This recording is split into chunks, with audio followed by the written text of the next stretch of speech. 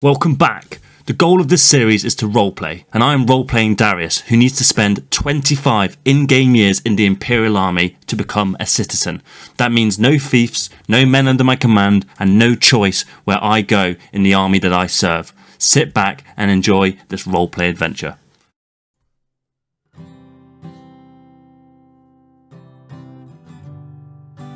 Darius was not a prisoner for long. Unlike the less fortunate foreign soldiers, Imperial soldiers were to be taken as prisoners of war. The three Imperial empires were constantly trading prisoners. Good money was to be made from the prisoners in times of peace. Darius was thankful for this. However, peace was more like a ceasefire, ready to be broken at any moment. Returned to the Southern Empire's army, he was healthy and back on the front lines. His second year of service had begun. Early spring opened with conflict between the southern and western empires. Darius was a part of some of the first engagements. Being an auxiliary and not a true imperial citizen, they were often the first into battle to test the enemy's mettle and soften them up. As feared, the Western Empire came in strength and left the southern auxiliaries fleeing the battlefield. They could have this victory, but it wouldn't be long before the Southern Empire retaliated. Two empires meet again. This time, the Southern Empire had a more noteworthy general and better equipped soldiers. Outraged, the Western Empire had no choice but to make the first move.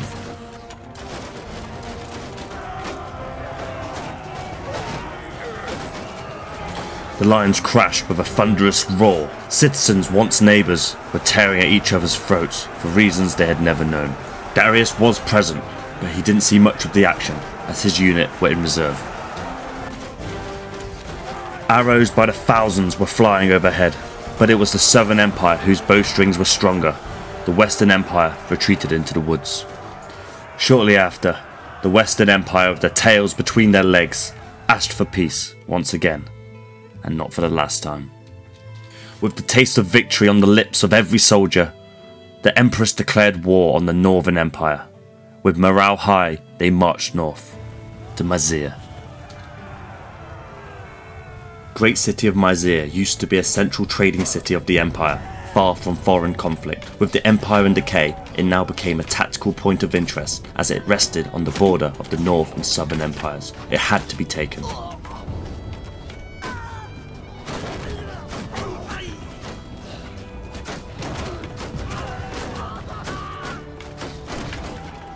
After several months at siege, gate was down, the walls were scaled, and a thousand soldiers were in.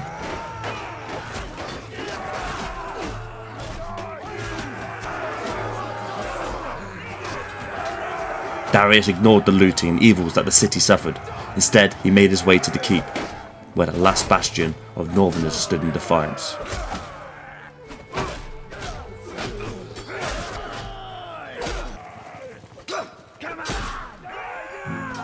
Casualties were high, a ceasefire was broken, and the year was over.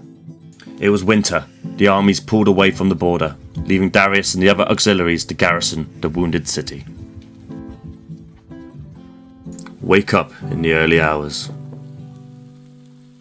Down the stairs of the tavern, out into the world, down some more stairs, down to the market, past the market, down some more stairs towards the garrison, onto the wall to start his patrol. Patrol the streets.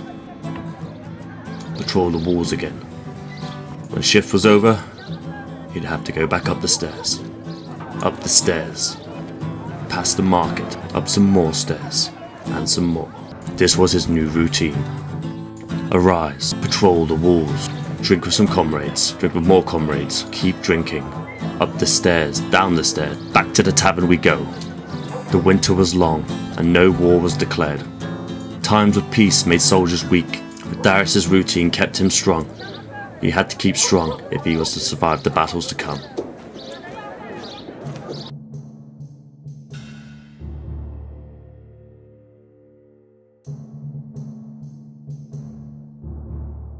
The snow was gone, and the orders were given.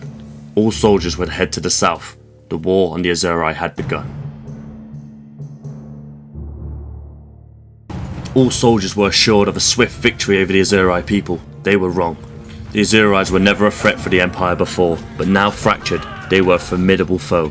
and they were ready, and they came in force.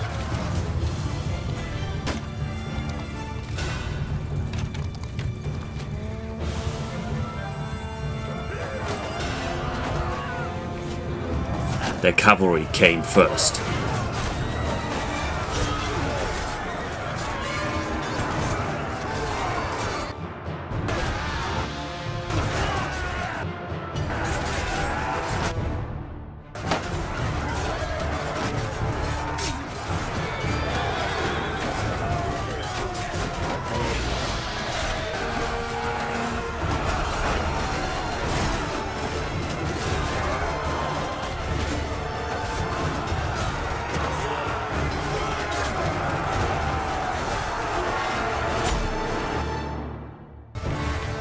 The Imperials were wavering.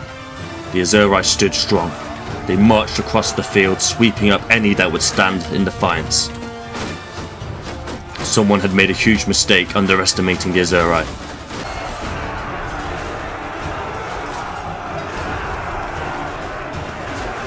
But the Southern Empire started this war, and it wasn't going away quickly.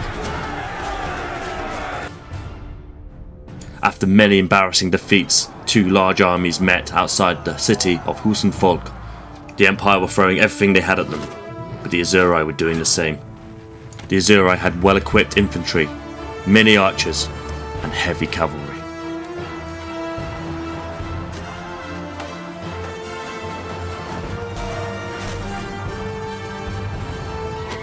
Our cavalry were better, but they outnumbered our cavalry two to one. Our bows were better, but they outnumbered our bows two to one. I wish I could say our infantry were better, but the Aserai had a newfound wealth and the equipment that matched it.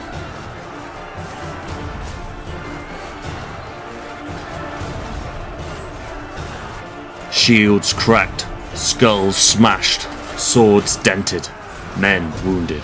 Screams filled the air, blood on every man.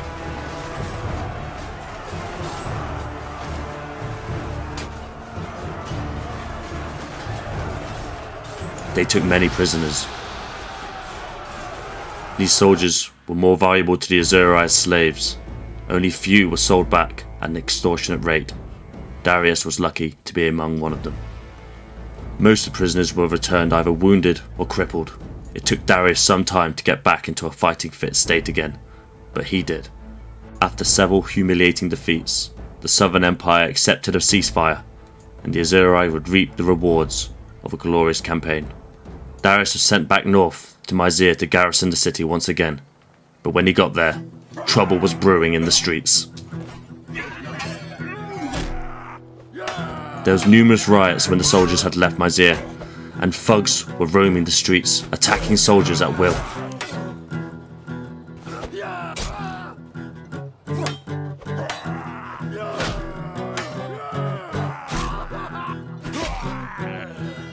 The riots stopped when the garrison returned, but the thugs still roamed the streets. Pickpockets, thieves, all of them. The people of the Northern Empire were not happy, but this was now a southern imperial town, and they had to live with it. It was up to Darius and a few other soldiers to snuff out the thugs, find the ringleaders, and bring peace back to the Mysian streets. Darius's old routine was almost the same. Up the stairs, down the stairs, go on a patrol. A few more extra broken bones here and there would have to be given out, but it was what they had to do to bring order to the streets. Darius and the other soldiers of his unit had to keep watching their own backs.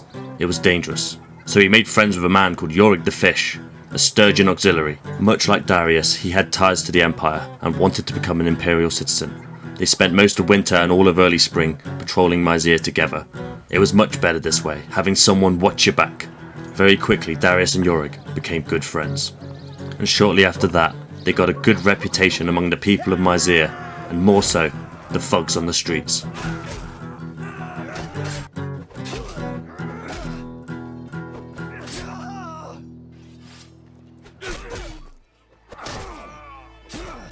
They made a great team, and just as the city streets were getting safer again, and it was safe not to look over your shoulder every day, the call to arms was surely around the corner, and the new campaign would begin.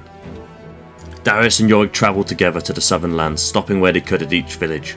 Their companionship grew, and they even asked if they could be in the same unit in the campaigns to the south, it was accepted because of their good work in Myzea. As before, all the soldiers of the Southern Empire were mustering in the south again for a second campaign against the Aserai people. War had begun for the second time. Husn Fulq had to fall. The Southern Empire wouldn't make the same mistake as last time. This time they called in more soldiers from all over their empire. Everyone heeded the call. They wanted revenge. And the Empress Rhagaea, she would give it them. The Empire's renewed ambition surprised the Aserai.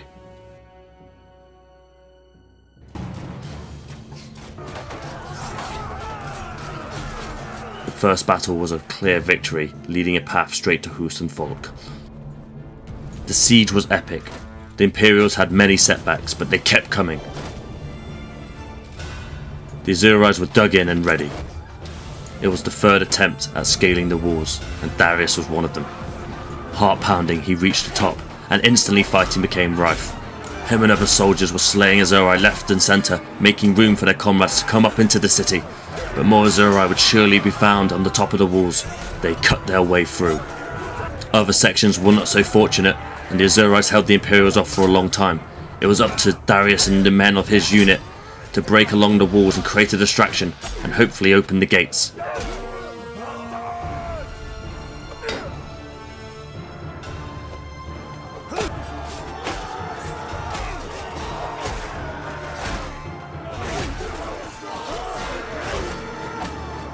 The city was lost, and people would speak of this victory for years to come. However, Darius looked out over the city, and he knew the horrors the Aserai people will suffer will be remembered for even longer.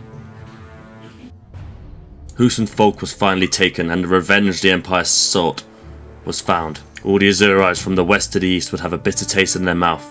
This would not be the last we see of the Aserai. A garrison will be held here, but all the valuables, loot and armour will be taken back to the Imperial lands. It was good timing the end of this war, because the Northerners, the Westerners and the Southerners all declared war on each other once again, and fighting broke out across the Empire.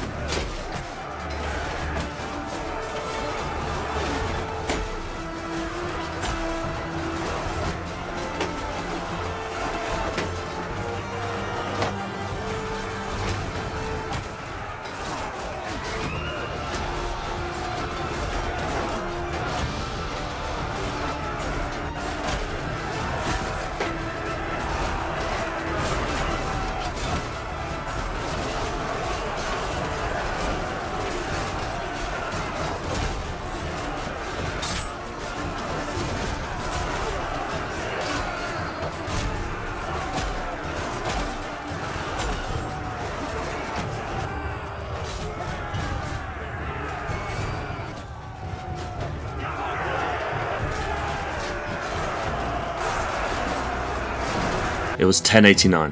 The three empires were all at war with each other, and it wouldn't stop in a hurry.